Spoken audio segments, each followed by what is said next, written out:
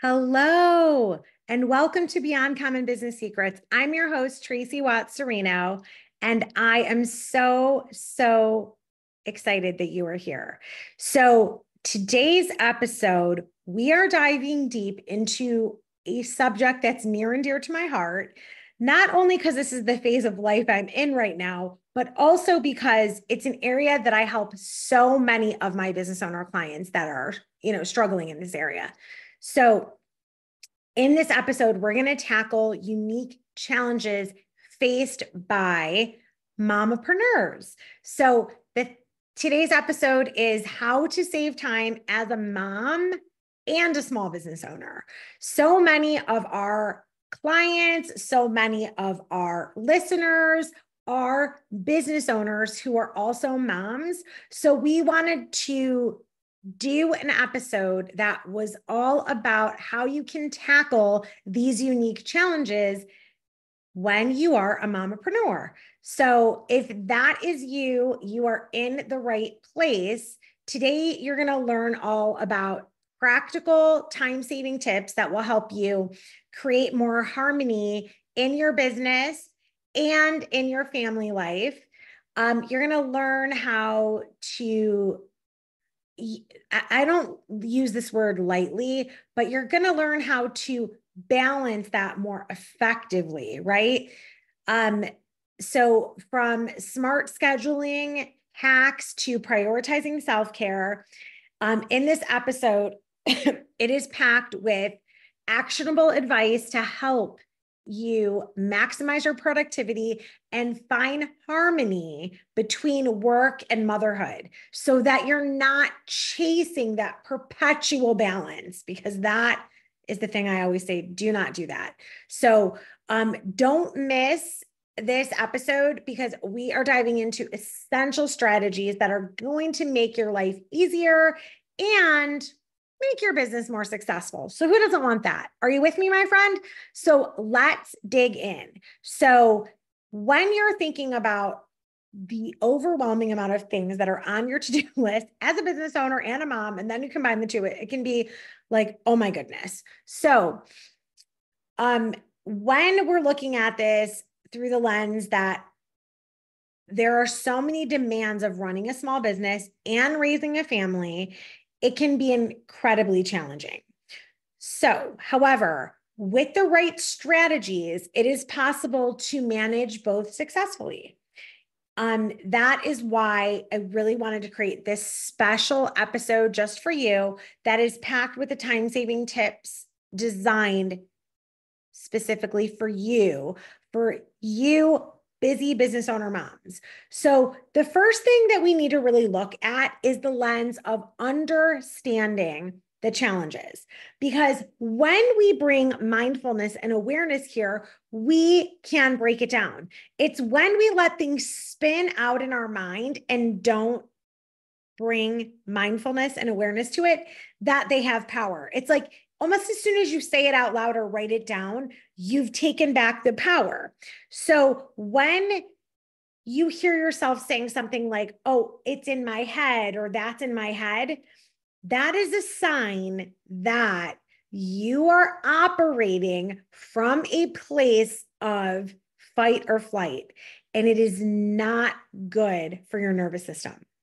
So, if that's you, my friend, buckle up because you need this episode more than you even realize it. So, that the, there with the unique challenges that that you face juggling your business and the family responsibilities, this is going to be really helpful for you. So, the number one thing that you need to think about is key time saving tips that are really going to help you as a mama premier or a mom who is also a small business owner.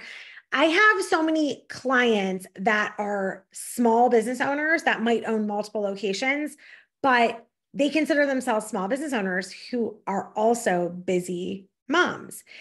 And then I have some clients that consider themselves solopreneurs that are also moms. So that's why I don't always use that word mama, mama, mama premier because I can't say it that well. No. And because not everybody resonates with that. But know that you are all welcome here and it is all for the greatest good of all.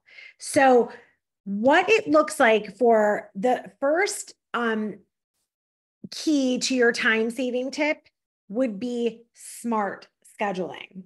So, number one is the smart scheduling. And you want to create a detailed schedule that prioritize your most important tasks. So, on a day that family is the focus, you want your most important task to be all about family. And then on a day that is like, this is my day for working on my business or in my business, that can be working. And then you figure out childcare or whatever needs to happen for the kiddos. So, when you create a detailed schedule that prioritizes your most important tasks, you can use digital tools and apps to stay organized and ensure you make the most of your time. So there are so many different apps that can help you save time. I love to use a I use a digital calendar and a written calendar because my brain gets activated when I write stuff down. If that is not the case for you, just a digital calendar that you block out your smart sch- scheduling is fine. But I like to like look over my whole calendar and put in all the most important days, like the days I am taking off, the days I'm doing stuff for the kids. I do that before I allow all of my business and client work onto my calendar for the month. And then I treat those as high value and high priority as my um, client appointments. So when you do this smart scheduling, you will make sure you actually always have time for a vacation.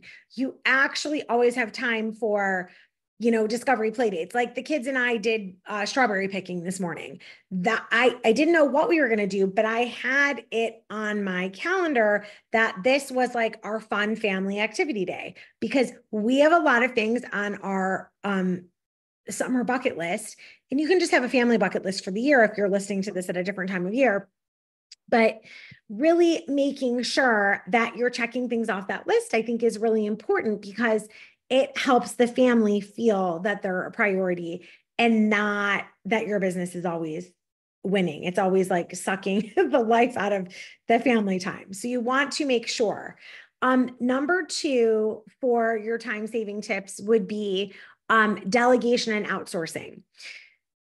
Do not be afraid to delegate tasks or outsource certain aspects of your business.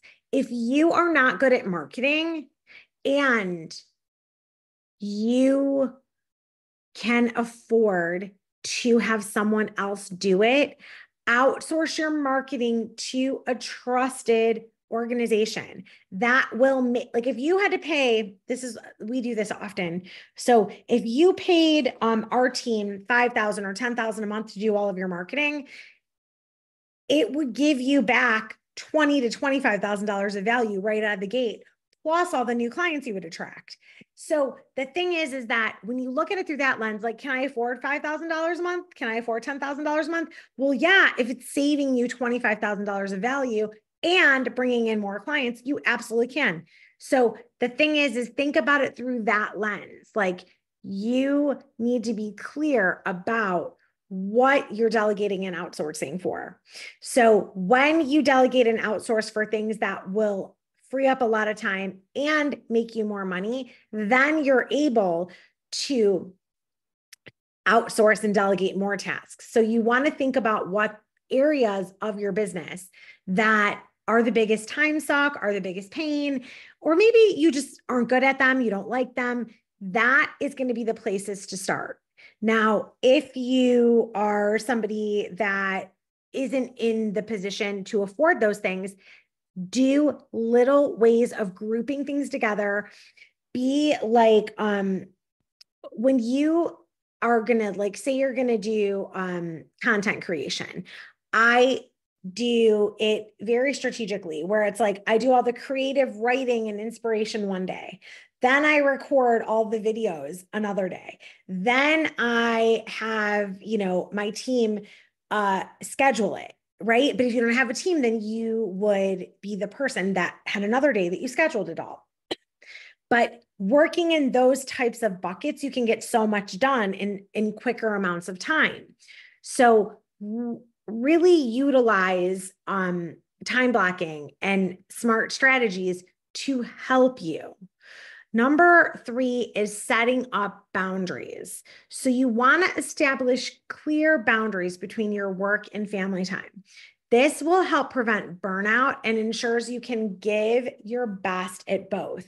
So if you are working yourself to oblivion and on the verge of burnout, you need a break from everything, right? You need to figure out how to step back so that you will be more effective in both your business and as a mom. So, we do no good for others when we are burnt out, stressed out, and on the brink of complete and utter destruction. it is not good for you. It's not good for the children. It's not good for your clients. It's not good for your staff. So, really, really set clear boundaries and force yourself to stick to them. This is why when you hire a business coach or you are in like one of our group coaching programs, this kind of creates a built in level of accountability that really helps you stay true to these because the number one thing I hear from business owners all the time when I first start working with them is I didn't realize how much I needed a boss. Like I I really always wanted to be my own bit like my own business, but having a boss that really organized your time was really good for me, which is really interesting that I hear that so much.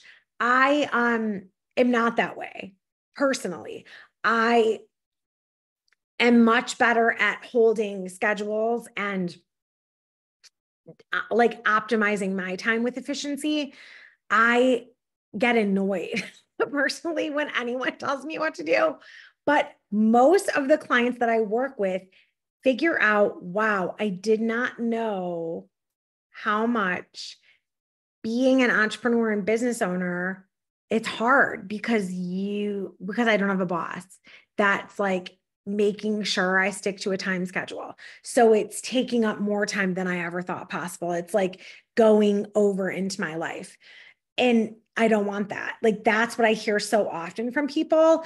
Um so really set crystal clear boundaries because that's going to be so important to your overall growth. And like in the beginning, when you're just getting started, you might have a list of a hundred things that need to get done. Now, pick the most, the 10 biggest priorities and put those on a piece of paper, right? And do those 10 first. Don't do all 10 in a day because it's not possible, right? Some of them are projects, some of them take time. But if you give yourself a strategic amount, say you have three hours a day until these 10 things are done, it could take a month, it could take a year, does not matter. You will not move on to the next 100 things on the list till the top 10 most important things that will make the biggest impact and make the biggest difference get done.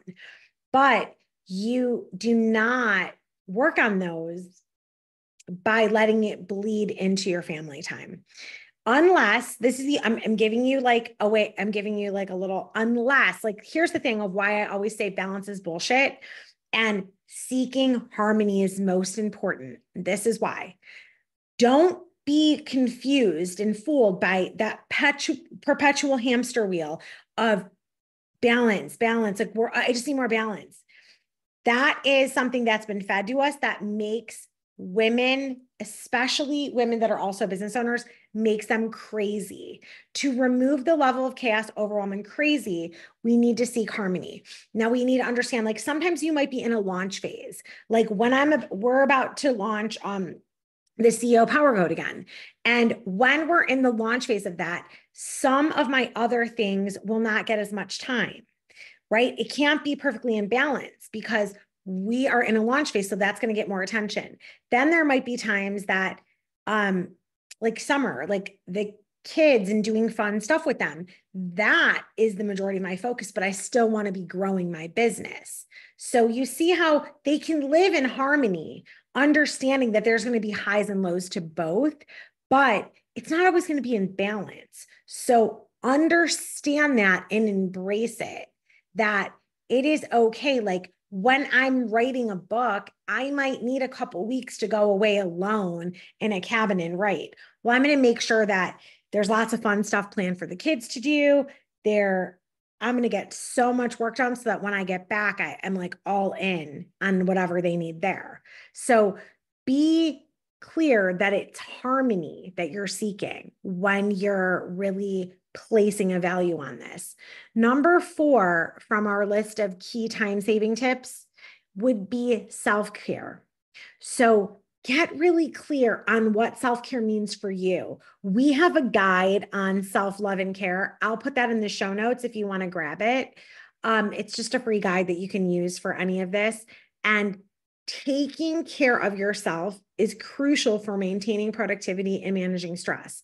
So, you want to incorporate your self care daily routines, you know, into your daily routine, you want to have things that are super important that are of high value to you.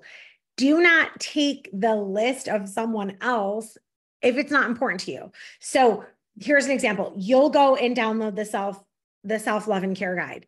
It's going to take you through some questions to ask yourself. Answer them from your heart.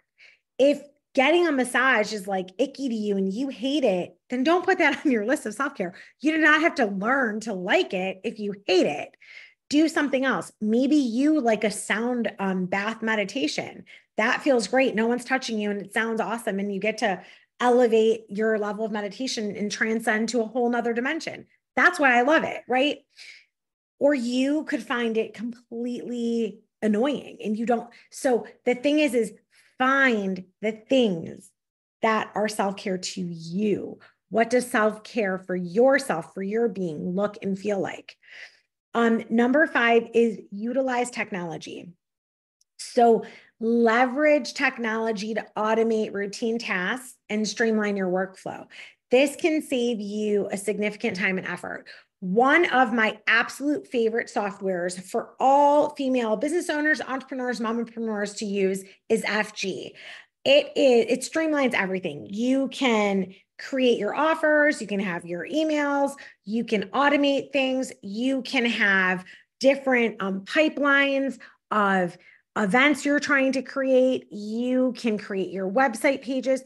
It your calendar, your um your different all the different offers that you have there it combines so many different softwares even automating the way like when your um, social media content is posting you can do that as well. So this is my number one recommendation is to find software that makes your life easier and more efficient. So i'll put that link in the show notes. And then there's also another guide that we have for you is um, the five strategies for um, creating more time. And this is a checklist that you can use to really go through, and it walks you through a lot of the technology questions as well. So that's an area that can use a lot of love, right? The self love and care and technology. Simplify. Technology, when used correctly, will optimize and shortcut so much of our repetitive tasks so that in our business we can be more present and alert for all the things that require only you. But all these little repetitive cannot be for only you, right? These are things that need to get delegated or automated within your technology suite. So, download the guides, use them, um, enjoy them, take care of yourself. These are so, so important.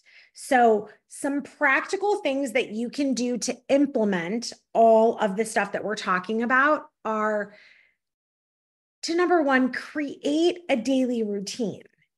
Create a daily routine that works for both your business and for your family life. These are really important. And be creative in how you do it. When you set the rules for yourself, you're actually much more likely to follow it.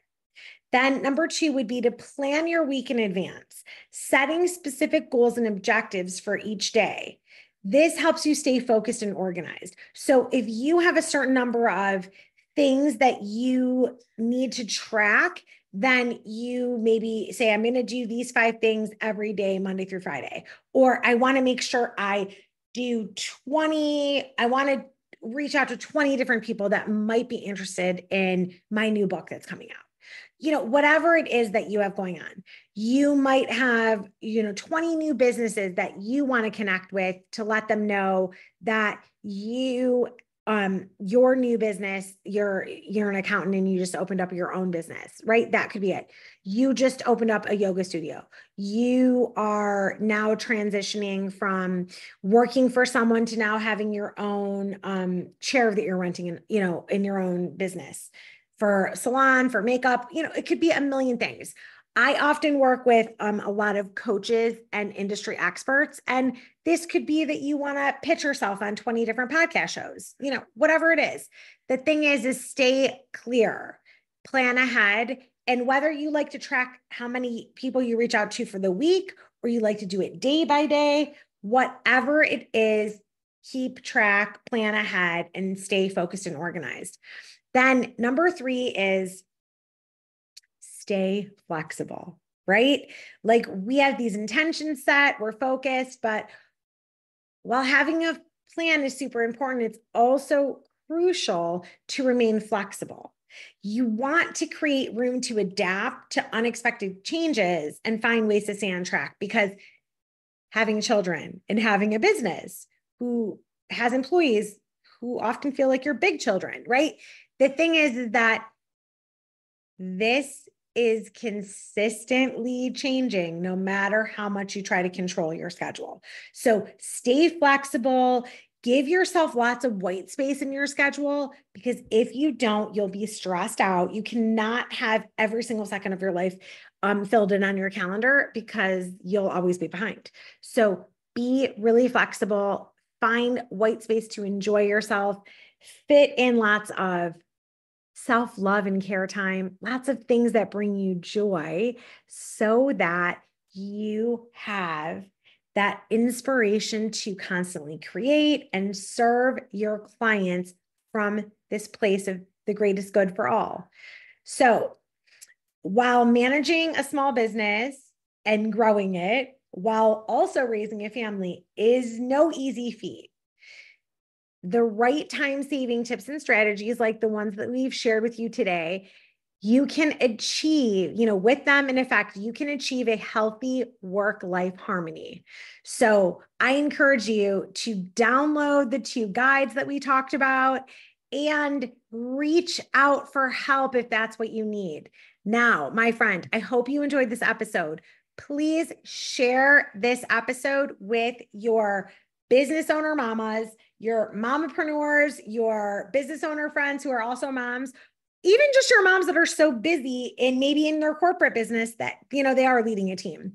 So share this episode and give us a review wherever you are tuning in. And if you want to dive even deeper with us, please join us inside our free Facebook group that is all about it's called Beyond Common Women in Business Supportive Community. We would love to see you there. And this is a community where we share ideas, we strongly encourage and support each other, and we would love to see you there. Now, for those of you that love to watch your podcasts please subscribe to our YouTube channel. Go join us there on YouTube and spread the word. As always, we hope you have the most beyond amazing day And I cannot wait to see how much better your business improves when you apply these strategic tips and strategies. Take care, and I'll see you on the next one.